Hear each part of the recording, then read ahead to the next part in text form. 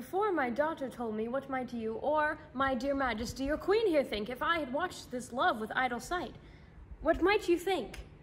No, I went round to work, and my young mistress thus I did bespeak, Lord Hamlet is a prince out of thy star, this must not be.